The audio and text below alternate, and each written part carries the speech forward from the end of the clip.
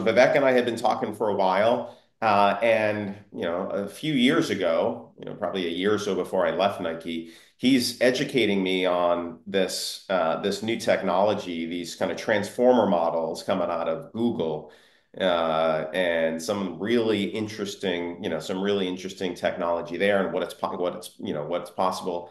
This is before ChatGPT 3.5 comes out. Um, and we're building, or you know, started building this this kind of customer behavior model that was using these transformer models to understand kind of the customer journey. If you think about ChatGPT is basically a sequence model that's doing next best word, we started using kind of that same core technology to understand the customer journey and do next best action, right? What are we likely to think a customer is going to do next based on this prompt of understanding everything that they've done in the past in the context of the you know the technology in front of them or the the products uh, the products in front of them? And so we got you know we got excited about the idea. I we actually started talking to um, you know a couple of investors pretty early on, and then I left Nike, and we started Cimulate.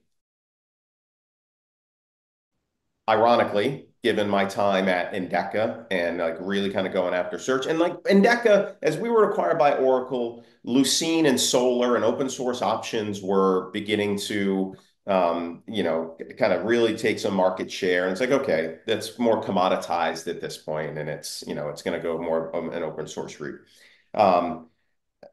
I thought search was a solved problem.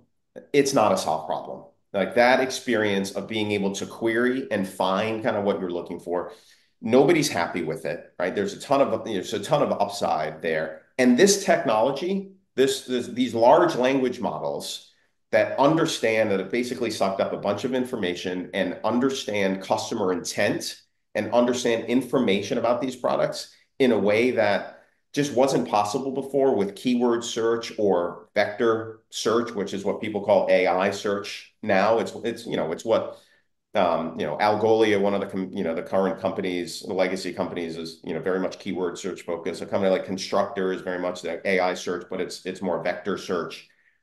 We believe very strongly that the the future is a large language model driving that experience. And that's we've built what we call Customer GPT.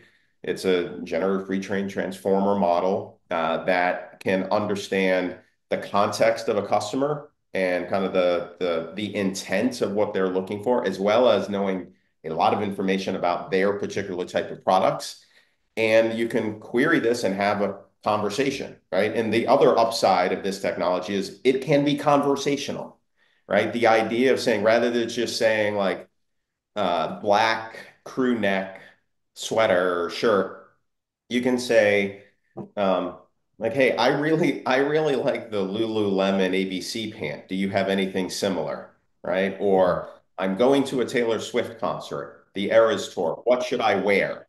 This is where I think it's going to be a really interesting next couple of years because everybody is going to have to replatform their their their their stack to leverage, whether it's Cimulate or not. But I think we're in a really interesting position to be able to capitalize against that over the next couple of years. Here here we are a year and a half later. We raised a $5 million Series Seed back in June of 2023, right when we were kicking off. And about a month ago, uh, we closed on a $28 million Series A round.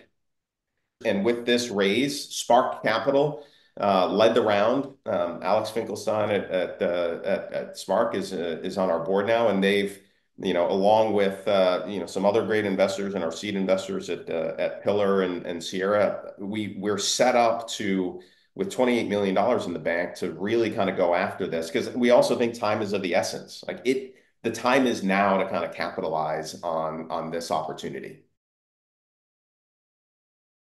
So our our whole our whole goal in the first year was to build the platform, find product-market fit, get some early adopter customers who were willing to work with us and go on the journey, you know, go on that journey with us, um, and uh, get them live and get metrics about how well the technology works for them.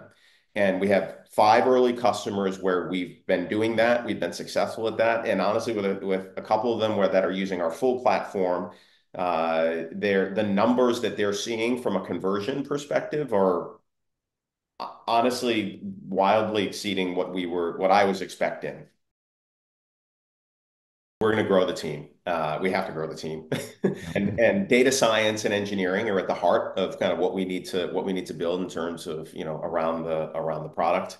Um, we're we have an office in Boston in the Downtown Crossing area. Uh, we're looking to have folks come into you know we want folks to be together um, uh, and be there. So you know not everybody is here in Boston. We're not you know completely militant about that. But we are Uh, very much uh, trying to kind of keep and grow kind of uh, the the office and the community here in Boston. We'll also hire you know, or hire and go-to-market folks, right, ahead of sales, ahead of pre-sales and and and customer success. We'll be you know, looking at some marketing folks in the near term. So we we are hiring. So we're getting we're getting after it.